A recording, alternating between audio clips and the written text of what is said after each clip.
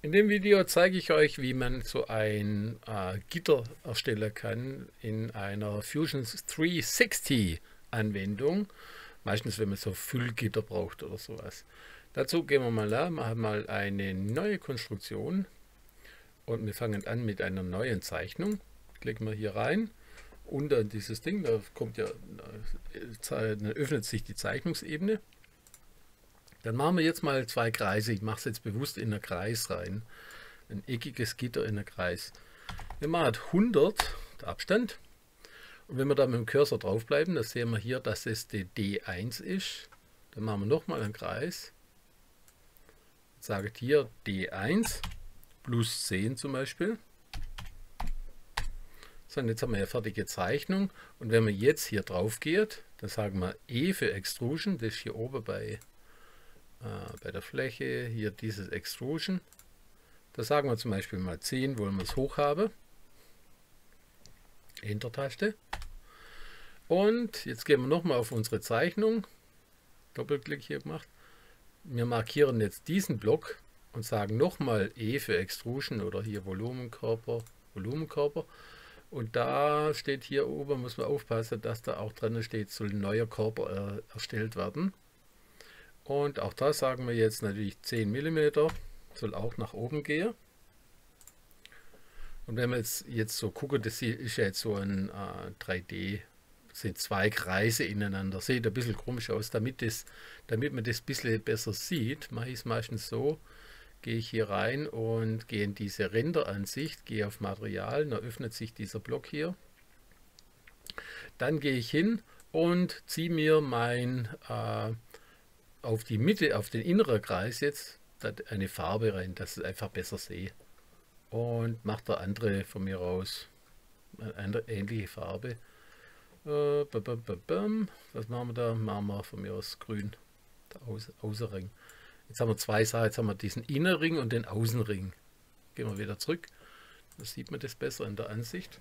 So, und jetzt gehen wir hin und machen nochmal eine Zeichnung, und zwar so ein Punch-Hole oder irgendwas, was man rausziehen kann. Das heißt, wir machen nochmal hier so diese Zeichnung. Wenn das nicht sofort aufgeht, dann machen wir Escape, nochmal Zeichnung, dann hier unter drauf, dann macht das Schwupp. Jetzt wollen wir ähm, nur noch Zeichnungen sehen. Wir machen da oben dieses Ding raus und jetzt sehen wir ja noch, dass die zwei Zeichnungen an sind. Jetzt sagen wir, in unserer Zeichnung wollen wir auch hier, ähm, also da wollen wir ein Punch-Hole erstellen, ein eckiges Loch. Also wir machen hier, wir gehen hier auf eckig, machen hier so ein kleines Block und da sieht man, der richtet sich an den Kreuzles aus, wie im Schreibmaschine, wie im Papierblock. So, jetzt haben wir so einen Block erstellt und machen, drücken wir Escape, dann nehmen wir da raus, sagen wir fertigstellen, muss ich bloß mal gucken. So, und jetzt klicken wir auf dieses Objekt drauf und gehen wieder auf Extrusion, also hier. Und jetzt sagen wir, er soll äh, das rausstanzen, aber er kann das nicht direkt sofort rausstanzen. Ähm, also er soll nach oben raus, aber er soll nicht ein neuer Körper nehmen, sondern er soll es ausschneiden aus einem anderen Objekt. Kann er jetzt aber nicht. Deswegen muss man den Körper wieder einblenden. Sagen wir wieder, äh, wir, wir wollen den ausschneiden hier und geht auch natürlich 10 mm hoch und jetzt schneidet er das dann auch raus. Dann lässt er das okay wieder zu. Jetzt haben wir hier sein Loch drin. Und jetzt wollen wir dieses Loch quasi vermehren.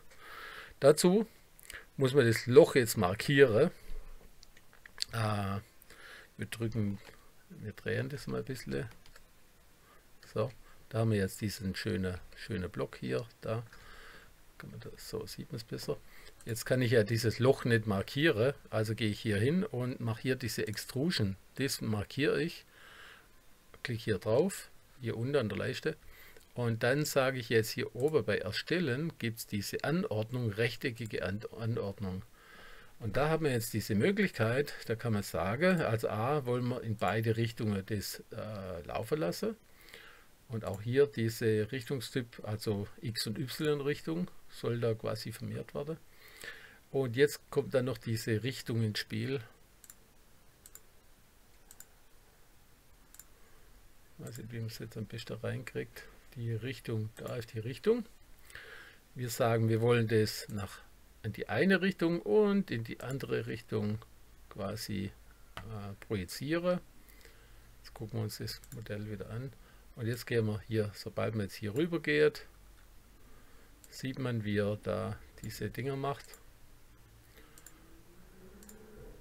So. Und jetzt kann man hier sagen, man möchte dieses, dieser kleine Block wird jetzt laufend äh, kopiert. Ich möchte also von mir aus Immer wenn ich zwei habe, dann summiert er die auf. So. Und mal das ein bisschen kleiner. Und da gibt es jetzt noch diese, äh, dieser Einstand, äh, das hier, soll er den Abstand oder die Größe ändern. Also, und da, da gehen wir meistens auf Abstand und sagen hier, ähm, er soll optimiert arbeiten von mir aus. Jetzt gucken wir mal nach, wie es dann aussieht. Da, genau. Jetzt haben wir solche Löcher drin und das war es auch schon, was ich zeigen wollte. Dass wir hier dann so ein Mesh drin haben. Das kann man natürlich, diesen Vorgang kann man auch machen, indem man dann so ein Honeycomb erstellt oder andere Objekte und die dann hier einfügt. Und dadurch, dass man die vorher ausgeschnitten hat aus dem Inneren, bleibt der äußere, äußere Kreis quasi erhalten.